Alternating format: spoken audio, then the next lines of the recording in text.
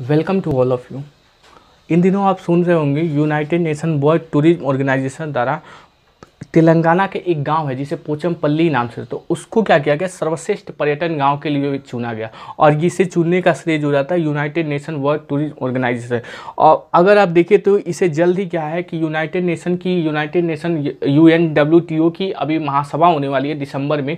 तो स्पेन के मैड्रिड में तो उस, वहाँ पर इसे जब चौबीसवें सत्रह सत्र का रिविजन किया जाएगा सत्रहवा रहेगा तो उसी दौरान क्या होगा कि पोचमपल्ली गाँव को पुरस्कृत किया जाएगा।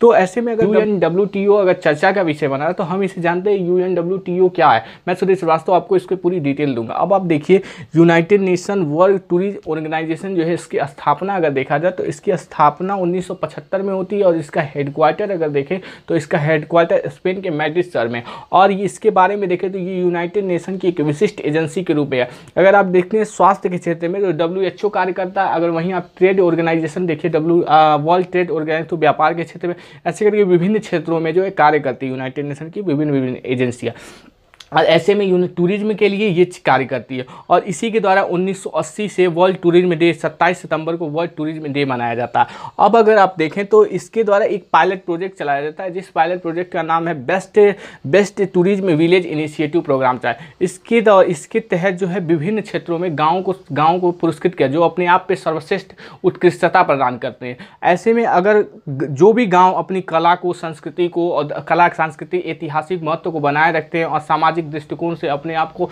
कुछ अलग प्रदर्शित करते हैं। तो कि वहाँ की सरकार, जो भारत सरकार या अन्य देशों की सरकार जो है, ऐसे ऐसे क्षेत्रों को ऐसे क्षेत्रों को U N W T O के लिए सिफारिश करती है कि इसे पर्यटन क्षेत्र के पर्यटन क्षेत्र के के रूप में घोषित किया जाए। तो ऐसे में जो हमारी केंद्र सरकार है, उसके पर्यटन उसके जो पर्यटन मंत्री है, उन्होंने क्या किया कि मेघालय के कोंगथोंग को और एमपी के लदपुरा खास को और तेलंगाना के पोचमपल्ली को तेलंगाना के पोचमपल्ली गाँव को इन्होंने दिया यू एन को दिया। अब यू एन को सिफारिश किया कि इसको पर्यटन क्षेत्र ऐसे में पोचमपल्ली गाँव था, उसको, उसे क्या किया? पर्यटन गाँव के रूप में घोषित किया गया।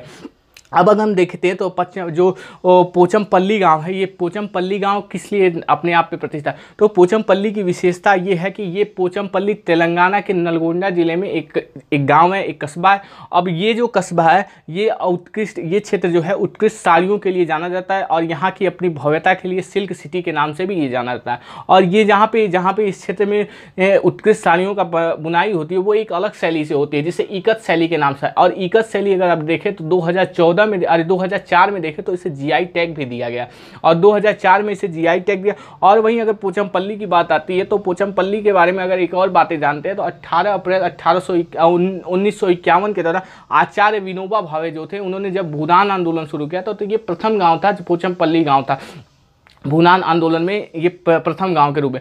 ऐसे में अगर देखें तो पोचमपल्ली गाँव तेलंगाना का विषय रहता है तो तेलंगाना के बारे में जाते जाते आपको तेलंगाना के बारे में कुछ और भी बातें बता तेलंगाना अगर देखा जाए तो राष्ट्र जब प्रणब मुखर्जी थे तो दो दो जून 2014 को जो है आंध्र प्रदेश से काटकर एक अलग राज्य बनाया गया, जिसे तेलंगाना तेलंगाना नाम दिया गया। अब ये तेलंगाना की अगर राजधानी देखते हैं तो हैदराबाद, और हैदराबाद आप जानते होंगे मूसी नदी के किनारे।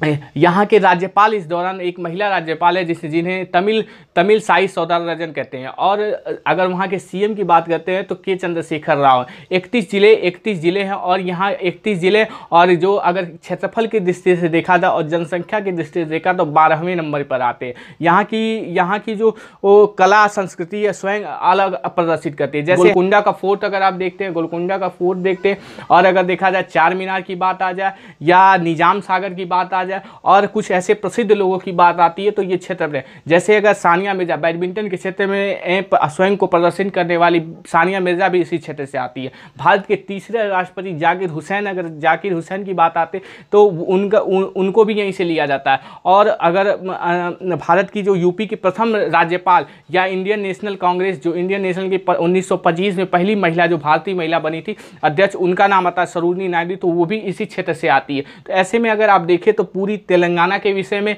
और पोचमपल्ली गाँव और united nation world tourist organisation के बारे में आपने हमसे समझा। और आने वाली विभिन्न क्लासों में आप नई नई बातों से हमसे सीखते रहेंगे। जय हिंद, जय Bharat. Everyone like and subscribe to this video